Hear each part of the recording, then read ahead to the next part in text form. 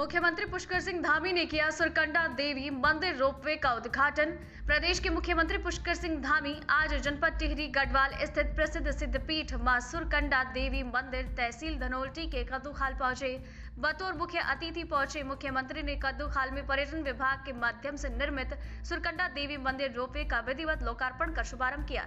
उसके बाद माँ मुख्यमंत्री ने रोपवे के द्वारा माँ सुरकंडा देवी मंदिर में पहुंचकर विधिवत पूजा अर्चना की।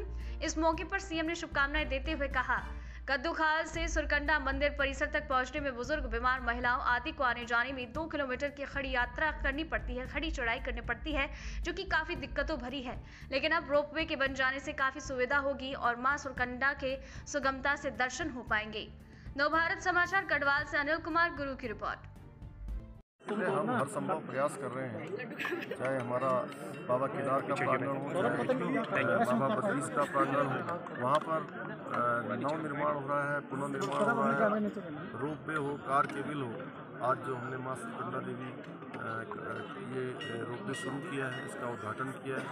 निश्चित रूप से ये हमारे लिए बहुत महत्वपूर्ण योजना है। इसकी इसकी आज के इसके संचालन से जो लोग थोड़ा आने में असमर्थ होते हैं बीमार होते हैं या थोड़ा चलने में उनको परेशानी होती है जिनको लगभग डेढ़ से दो घंटे का समय यहाँ पहुँचने में लगता था वो आसानी से आ पाएँगे। ये हमारा धार्मिक पर्यटन हो चाहे तीर्थाटन हो उन सभी क्षेत्रों में हम हमारा राज्य आगे बढ़े उसके लिए हम लगातार संकल्पबद्ध हैं